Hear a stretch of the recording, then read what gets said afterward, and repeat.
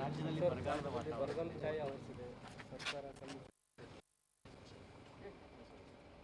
ನೋಡಿ, ರಾಜ್ಯದಲ್ಲಿ ಜೂನ್ ತಿಂಗಳಲ್ಲಿ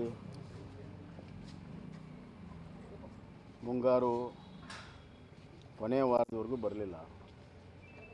ಒಂದು ಬಾರಿ ಬಿತ್ತನೆಯನ್ನು ಮಾಡಿದರು. ಮುಂಗಾರು ಪೂರ್ವದ ಮಳೆಯ ಆಧಾರದ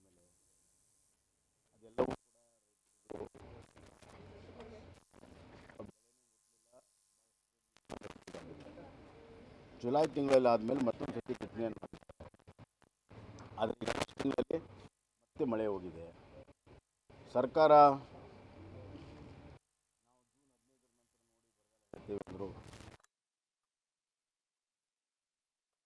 ಆಗಸ್ಟಲ್ಲಿ ನಾವು ನೋಡ್ಕೊಂಡು ಹೇಳ್ತೀವಿ ಹೇಳ್ತೀವಿ ಅಂತ ಹೇಳಿ ಮೂರು ತಿಂಗಳಿನಿಂದ ಬರಗಾಲ ತಾಲೂಕುಗಳು ಘೋಷಣೆ ಮಾಡಿಲ್ಲ.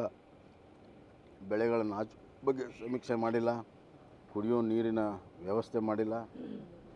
ಮತ್ತು ಈಗಾಗಲೇ ಕೇಂದ್ರ ಸರ್ಕಾರ ಒಂದು ಕಂತು ನ್ಯಾಷನಲ್ ಕೆಲಾಮಿಟಿ ಇದರಲ್ಲಿ ಒಂದು ಕಂತು ಈಗಾಗಲೇ ಬಿಡುಗಡೆ ಕೂಡ ಮಾಡಿದೆ.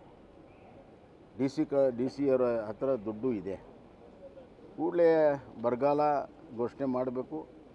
ಅದರ ವ್ಯಾಪ್ತಿಯಲ್ಲಿ ಬರ್ತದೋ ಇಲ್ಲೋ ಮೊದಲು ಕುಡಿಯೋ ನೀರಿನ ವ್ಯವಸ್ಥೆ ಮಾಡಬೇಕು, ಮತ್ತು ಬೆಳೆ ಸಮೀಕ್ಷೆ ಮಾಡಿ ಅದಕ್ಕೆ ಪರಿಹಾರವನ್ನು ಕೊಡುವಂಥ ಕೆಲಸ ಆಗಬೇಕು. ಇನ್ನೊಂದು ಕಡೆ ಜಲಾನಯನ ಪ್ರದೇಶದಲ್ಲಿ ಇದು ನಮ್ಮ ಜಲಾಶಯಗಳಲ್ಲೂ ಕೂಡ ನೀರು ಕಡಿಮೆ ಆಗಿದೆ. ಇದನ್ನು ಸರಿಯಾಗಿ ನಿರ್ವಹಣೆ ಮಾಡದೇ ಇದ್ದರೆ ಬರುವಂಥ ದಿನಗಳಲ್ಲಿ ಡಿಸೆಂಬರ್, ಜನವರಿ, ಫೆಬ್ರವರಿ, ಮಾರ್ಚಲ್ಲಿ ತೀವ್ರವಾದಂಥ ನೀರಿನ ಒಂದು ಕ್ಷಾಮ ನಾವು ನೋಡ್ತೀವಿ. ಅದರ ಜೊತೆಗೆ ವಿದ್ಯುತ್ ಉತ್ಪಾದನೆ ಕಡಿಮೆ ಆಗಿದೆ. ಜ, ವಿದ್ಯುತ್ತಿನ ಜಲಾಶಯಗಳ ಇದರಲ್ಲೂ ಕೂಡ ನೀರಿನ ಕಡಿಮೆ ಇದೆ. ಹೈಡ್ರೋ ಎಲೆಕ್ಟ್ರಿಕ್ ಉತ್ಪಾದನೆ ಕಮ್ಮಾಗಿದೆ ಮತ್ತು ಥರ್ಮಲ್ ಪ್ಲಾಂಟು, ನಾಲ್ಕು ಥರ್ಮಲ್ ಪ್ಲಾಂಟಲ್ಲಿ ಉತ್ಪಾದನೆ ಕಮ್ಮಾಗಿದೆ ಹೀಗಾಗಿ ಅನಧಿಕೃತವಾಗಿ ಪವರ್ ಕಟ್ ತೀವ್ರ ಆಗಿದೆ. ತೀವ್ರವಾದ ಪವರ್ ಕಟ್ ಇದೆ.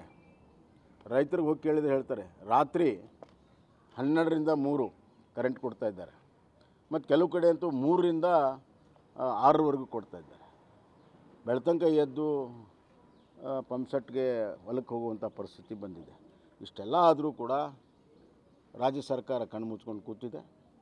ಅವರು ತಮ್ಮ ಟ್ರಾನ್ಸ್ಫರ್ ದಂಧೆ ಮತ್ತು ಇತರ ತಮ್ಮ ಹಿತಾಸಕ್ತಿಯ ಸಲುವಾಗಿ ಅವರು ಓಡಾಡ್ತಾ ಇದ್ದಾರೆ. ರಾಜ್ಯ ಜನ ಅವರಿಗೆ ಅಧಿಕಾರ ಕೊಟ್ಟಿರುವಂಥದ್ದು ರಾಜ್ಯದ ಆಡಳಿತ ಮಾಡೋದಕ್ಕೆ ಮೂರೇ ತಿಂಗಳಲ್ಲಿ ಮಳೆ ಕ್ಷಾಮವಾಗಿ ಬರಗಾಲ ಬಂದಿದೆ ವಿದ್ಯುತ್ ಕ್ಷಾಮ ಆಗಿದೆ ಮತ್ತು ಹಣಕಾಸಿನ ಕ್ಷಾಮ ಕೂಡ ಆಗಿದೆ. ಇದು ರಾಜ್ಯದ ದುಸ್ಥಿತಿ. ಈ ಐದು ಗ್ಯಾರಂಟಿಗಳನ್ನು ಅನುಷ್ಠಾನಕ್ಕೆ ಮರೆಮಾಚಿ ಕಮಿಷನ್ ಆರೋಪ ಬಂದಿದೆ ಚಲವರಾಜ್ ಸ್ವಾಮಿ ಮೇಲೆ ವಿಷಯ ಡೈವರ್ಟ್ ಮಾಡ್ತಿದ್ದಾರೆ ಆಪರೇಷನ್ ಕಮಲ ಅಂತ. ಅಲ್ಲ ನಾನು ಎಲ್ಲೂ ಕೇಳಿರಲಿಲ್ಲ. ಯಾರಾದರೂ ಏನಾದರೂ ಆಪಾದನೆ ಮಾಡಿದರೆ ರಾಜ್ಯಪಾಲರಿಗೆ ಮನವಿ ಕೊಟ್ಟರೆ ಅವ್ರ ಮೇಲೆ ಕೇಸ್ ಹಾಕುವಂಥ ಪ್ರವೃತ್ತಿ ಏನಿದೆ, ಇದು ಒಂದು ರೀತಿಯಲ್ಲಿ ದಮನಕಾರಿಯಾಗಿರುವಂಥ ಒಂದು ಪ್ರವೃತ್ತಿ. ಪತ್ರಕರ್ತರ ಮೇಲೂ ಕೇಸ್ ಹಾಕಿದ್ದಾರೆ. ಯಾರು, ಯಾರ್ಯಾರು ಯಾರ್ಯಾರು ಈ ಸರ್ಕಾರದ ಭ್ರಷ್ಟಾಚಾರ ಮತ್ತು ಇತರಗಳ ಬಗ್ಗೆ ಯಾರು ಧ್ವನಿ ಎತ್ತಾರೆ, ಅವರ ಧ್ವನಿಯನ್ನು ದಮನ ಮಾಡುವಂಥ ಸರ್ವಾಧಿಕಾರಿ ಧೋರಣೆ ರಾಜ್ಯದಲ್ಲಿದೆ ಅಂತ ಈಗಾಗಲೇ ನಾನು ಹೇಳಿದ್ದೇನೆ. ಆದರೂ ಕೂಡ ಆ ಕಾರ್ಯವನ್ನು ಮುಂದುವರಿಸಿದ್ದಾರೆ. ಪತ್ರಕರ್ತರು ಅವರ ಎಂ ಎಲ್ ಎಗಳ ಲೆಟ್ರು ಪ್ರಕಟಣೆ ಮಾಡಿದರೆ ಅದು ಫೇಕ್ ಅಂತ ಕೊಟ್ಟರು. ಫೇಕ್ ಅಂತ ಪ್ರೂವ್ ಆಗಬೇಕಲ್ಲ? ಯಾರು ಎಂ ಎಲ್ ಎಗಳ ಸೈನ್ ಮಾಡಿದ್ದಾರೆ ಅವ್ರಿಗೇನು ನೋಟಿಸ್ ಕೊಟ್ಟಿಲ್ಲ.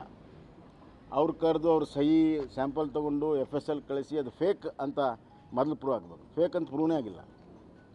ಆದರೆ ಅದನ್ನು ಪ್ರಕಟಣೆ ಮಾಡಿದಂಥ ಪತ್ರಕರ್ತರಿಗೆ ಇವ್ರು ನೋಟಿಸ್ ಕೊಡ್ತಾರೆ ಅಂತಂದರೆ ಪ್ರಜಾಪ್ರಭುತ್ವದ ನಾಲ್ಕನೇ ಸ್ತಂಭ ಅಂತ ನಾವೇನು ಕರಿತೀವಿ? ಅಭಿವ್ಯಕ್ತ ಸ್ವಾತಂತ್ರ್ಯ ಮತ್ತು ಪತ್ರಿಕಾ ಸ್ವಾತಂತ್ರ್ಯ. ಇದನ್ನು ಮೊಟಕುಗೊಳಿಸುವಂಥ ದಮನ ಮಾಡುವಂಥ ಪ್ರವೃತ್ತಿ ಈ ರಾಜ್ಯ ಸರ್ಕಾರ ಪ್ರಾರಂಭ ಆಗಿದೆ. ಸ್ವಲ್ಪ ದಿನದಲ್ಲಿ ಜನ ಬಿಜೆಪಿ ನಾಯಕರು ಒಂದು ಕಡೆ ಸ್ಥಳೀಯ ಮಟ್ಟದಲ್ಲಿರ್ಬೋದು ಮಾಜಿ ಆಪರೇಷನ್ ಹಸ್ತಕ್ಕೆ ಮುಂದಾಗಿದ್ದಾರೆ ಸರ್. ನೋಡ್ರಿ ಕಾಂಗ್ರೆಸ್ಗೆ ಭಯ ಉಟ್ಕೊಂಡಿದೆ ಲೋಕಸಭಾ ಸಮೀಕ್ಷೆಗಳು ಬಂದ ಮೇಲೆ ಅವರಿಗೆ ಸೀಟ್ಗಳು ಹೆಚ್ಚು ಬರೋದಿಲ್ಲ ಅನ್ನುವಂಥದ್ದು. ಸೀಟ್ಗಳು ಲೋಕಸಭಾದಲ್ಲಿ ಹೆಚ್ಚು ಬರದೇ ಇದ್ದರೆ ಅದರ ಪರಿಣಾಮ ರಾಜ್ಯ ಸರ್ಕಾರದ ಭವಿಷ್ಯ ಮೇಲಿದೆ ಅನ್ನೋದು ಅವ್ರಿಗೂ ಕೂಡ ಗೊತ್ತಿದೆ. ಅದಕ್ಕಾಗಿ ಈ- ಆಪ್ರೇಷನ್ ಹಸ್ತ ಅವೆಲ್ಲ ಮಾಡ್ತಾ ಇದ್ದಾರೆ. ಅವು ಯಾವ ಯಶಸ್ವಿ ಆಗಲ್ಲ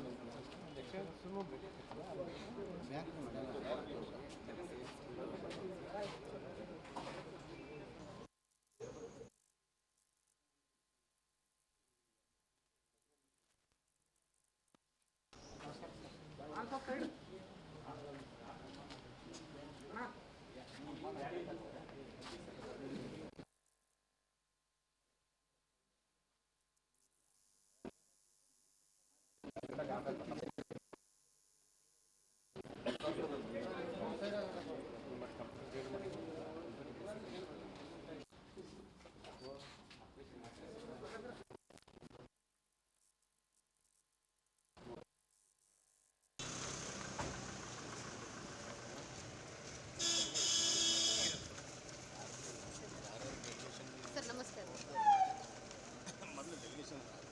ಸರ್ ಈಗ ಐದು ಲಕ್ಷ ಮನೆ ಆಗೈತೆ ಸರ್ ಇವರು ಒಂದೇ ಜಾಗದಾಗ ರೀ ಅಂತ ಮೂರು ಜನ ರೀ ಇವ್ರಿಗೆ ಮನೆ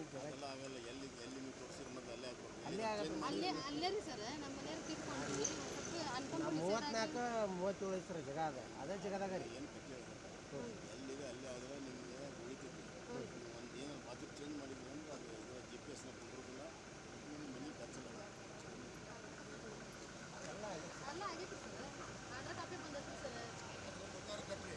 ಅದೇ ಪ್ರಕಾರ ಕಟ್ಟಾಕ್ತಾರೆ ಸರ್. ಅಲ್ಲಿ ಒಬ್ರು ಯಾರೋ ಹೋಗಿ ಚೇಂಜ್ ಕಟ್ಟಕತ್ತಾರ ಅಂತ ಹೇಳ್ತಾರೆ ಸರ್. ಅಲ್ಲೇ ರೀ ಅದೇ ಜಾಗ ರೀ. ಫಸ್ಟ್ ಜಿ ಪಿ ಎಸ್ ಎಲ್ಲ ಓಕೆ ಸರ್.